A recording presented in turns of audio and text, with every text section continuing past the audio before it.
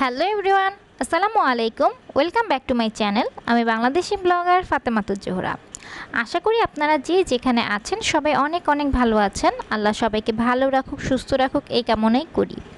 আমরাও আল্লাহর অশেষ রহমতে এবং আপনাদের সবার দোয়ায় ভালো আছি। আমাদের জন্যও সবাই দোয়া করবেন। তো আমার চ্যানেলে যারা যারা আমাকে অলরেডি সাবস্ক্রাইব করেছেন লাইক অ্যান্ড কমেন্ট দিয়ে পাশে আছেন, তাদের সবাইকে জানাই অসংখ্য ধন্যবাদ। আর যারা যারা এখনও সাবস্ক্রাইব করেননি প্লিজ প্লিজ প্লিজ আমার চ্যানেলটি সাবস্ক্রাইব করুন লাইক কমেন্ট অ্যান্ড শেয়ার দিয়ে আমার পাশে থাকুন, আর পাশে থাকা ছোট্ট বেল বাটনটি বাজিয়ে দিন, যাতে করে আমার নতুন ভিডিওগুলো পৌঁছে যায় আপনাদের কাছে। আশা করি আমার চ্যানেলের ভিডিওগুলো আপনাদের কাছে ভালো লাগবে। আর ভালো লাগলে অবশ্যই কমেন্ট করে আপনাদের মতামত জানিয়ে দেবেন আমাকে। আর যদি কারও ভালো নাও লাগে, দেখতে থাকবেন। আশা করি দেখতে দেখতে একসময় ভালো লেগে যাবে। আর আমার এই ভিডিওটি শুরু থেকে শেষ পর্যন্ত দেখার অনুরোধ রইল। তো আবারও চলে আসলাম আমি আপনাদের মাঝে নতুন একটি ব্লগ নিয়ে। আর এটা ছিল বিকেল বেলার আকাশটা। সূর্যটা অস্ত যাবে ঠিক সেই মুহূর্তটা। তো দেখতে খুবই দারুণ লাগছিল।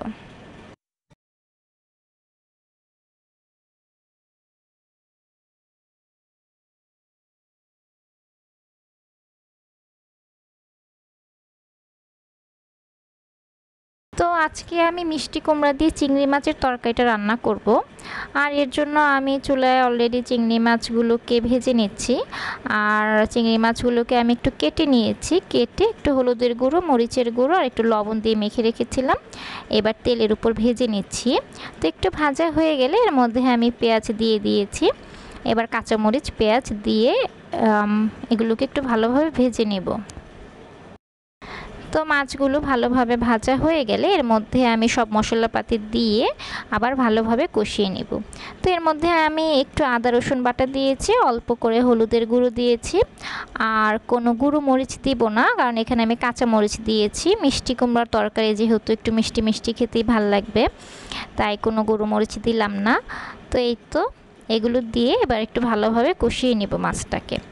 তো মাছগুলো আর পেঁয়াজ, মরিচ এগুলো সব কিছু একটু ভালোভাবে কষানো হয়ে গেলে এর মধ্যে আমি মিষ্টি কুমড়া দিয়ে দেব। তো মিষ্টি কুমড়াগুলোকে আমি আগেই ভালোভাবে কেটে ধুয়ে রেখেছিলাম। এবার আমি মিষ্টি কুমড়াগুলোকে দিয়ে দিচ্ছি। তো মিষ্টি কুমড়াগুলো দেওয়া হয়ে গেলে আমি এগুলোকে সহ সব কিছু একসাথে কষিয়ে নিব।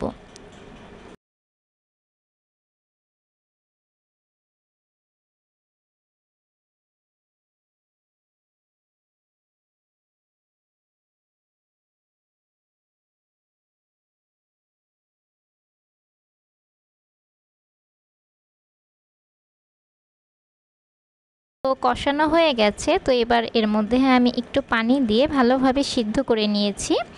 আর সিদ্ধ করা হয়ে গেলে আমি এর মধ্যে একটু ধনে পাতা কুচি দিয়ে নামিয়ে ফেলব। এই তো ধনে পাতা কুচিও দিয়ে দিলাম। এবার হয়ে গেছে আমার তরকারিটা। এবার আমি নামিয়ে নিলাম। এই তো হয়ে গেল আমার মিষ্টি কুমড়া দিয়ে চিংড়ি মাছের তরকারি রান্না করা। তো কেমন লেগেছে আপনাদের কাছে? প্লিজ আমাকে জানাবেন। আর সাথে করেছিলাম একটু মুরগির মাংসটাকে জাস্ট ভেজেছিলাম। এখানে আর কিছুই করিনি। হলুদের গুঁড়ো, মরিচের গুঁড়ো, একটু আদা, রসুন বাটা দারচিনি এলা সব কিছু বেটে জাস্ট ভেজে নিয়েছি তেলে। এই আর কি।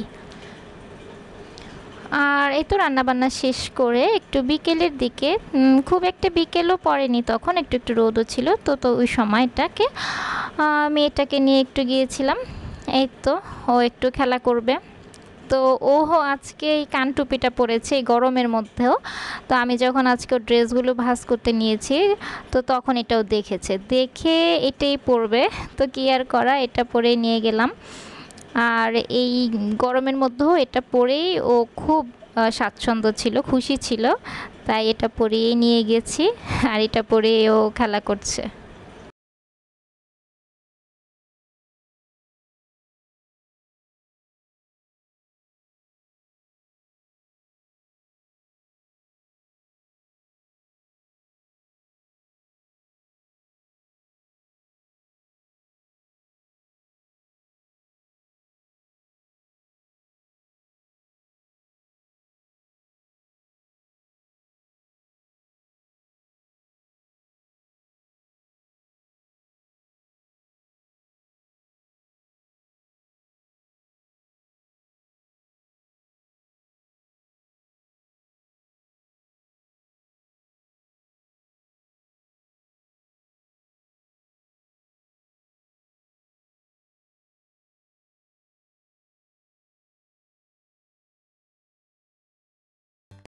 তো এই তো ওর খেলা শেষ করে আমরা আবার রুমে চলে এসেছি।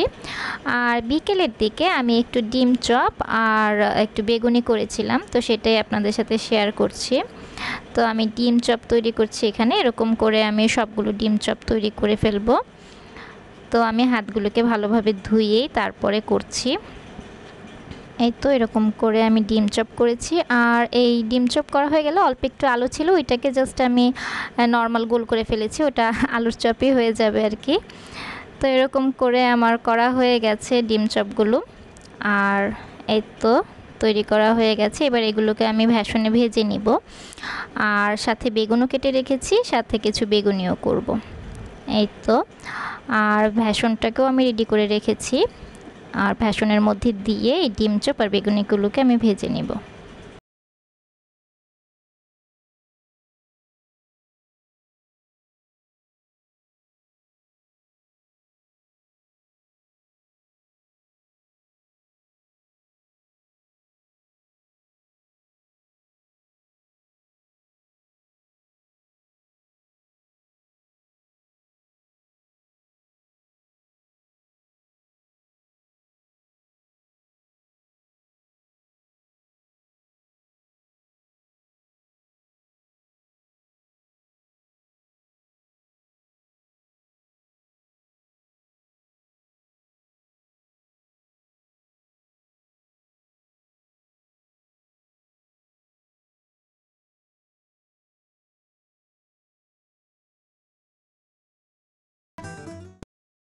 তো এই তো এরকম করে একে একে করে আমি ডিম চপগুলোকে আর বেগুনিগুলোকে ভেজে নিয়েছি।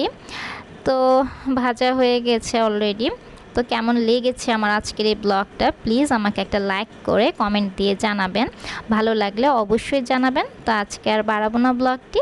সবাই ভালো থাকবেন, সুস্থ থাকবেন, আমাদের জন্য দোয়া করবেন। আল্লাহ হাফেজ। Bye bye.